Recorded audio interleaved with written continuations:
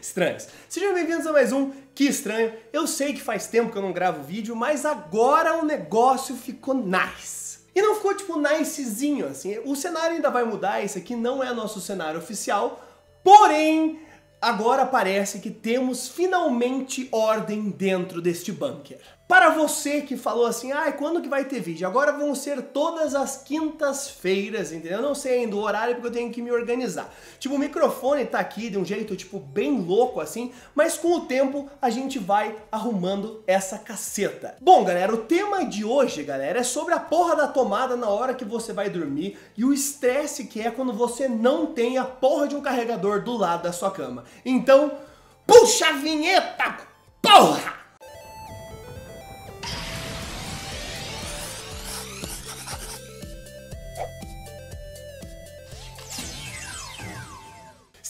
Que me deixa muito puto, galera, é quando eu vou dormir e não tenho o caralho de um carregador do meu lado. Você acaba passando tipo por muitos problemas com isso porque você quer ficar no teu celular de noite e nem sempre dá para você ficar do jeito que você quer. Você sempre acaba ficando naquela posição ridícula assim que você fica meio que deitado com o celular lá na puta que pariu, porque é o momento que você tem de responder todos os grupos. Isso se você não tá naqueles grupos de putaria que daí o objetivo na hora de dormir é um pouco diferente. O maior problema é que você também não quer dormir com a porra de uma extensão do lado do teu, né? Do lado da tua cama. Você não quer aquela merda, aquela extensão e também eu fico, às vezes eu fico com medo que eu vou tipo pôr fogo em tudo assim, porque né, sabe Deus, né? Vai que sei lá, dá um curto começa tipo pegar fogo no teu colchão. E nem sempre é ruim pegar fogo no colchão, né?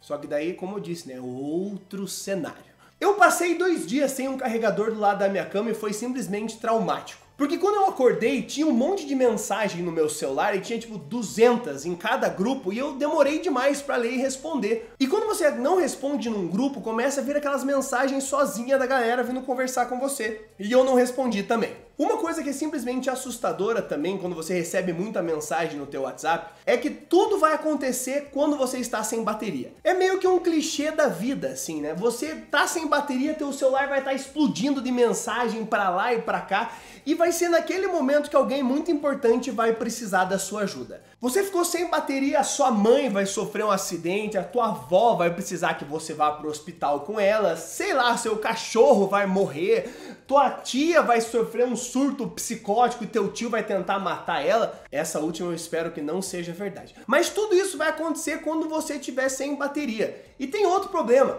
Mudaram a porra da configuração das tomadas e os adaptadores ainda não são todos que vêm com o formato correto. Tem um monte que vem com formato tosco e você precisa achar um T. E de madrugada a pior coisa é você encontrar esse T. É horrível. Você vai atrás da porra do T e você não vai achar o T. Então você vai ter o problema da tomada, o problema da extensão, o problema do fogo e o problema do T. A vida não tá fácil para você que quer dormir com o celular. Você que só quer dormir com o celular carregando ali do lado e poder responder uma mensagem ou outra, ou quem sabe acessar um pornô, né? T, né? Às vezes aí tem, tem.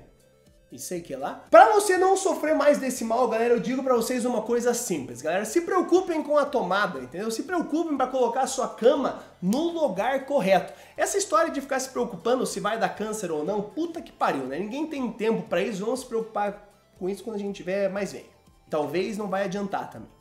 Que daí você já vai estar tá com câncer e com a porra toda, né? Então se preocupem aí, e se vocês tiverem uma solução boa, ou se vocês passaram por um momento merda que vocês tiveram que ficar tipo esticado na cama para vocês conseguirem responder, mandem fotos, postem aqui nos comentários qual foi a treta que vocês já passaram com o carregador na hora de dormir. Porque eu quero ver, eu espero, eu tenho certeza que eu não sou o único a sofrer com a porra da tomada na hora de dormir. Então, gente, eu espero que vocês tenham gostado. Esse foi mais um Que Estranho falando sobre essa maldição que é a tomada na hora de dormir. Deixem os seus likes aqui, deixem os seus comentários, me sigam nas redes sociais e é isso, galera. Quinta-feira tem mais, então um grande abraço aí para todos vocês que esperaram. Como eu disse, esse não é nosso cenário oficial, terão outros cenários. Um grande abraço aí para vocês e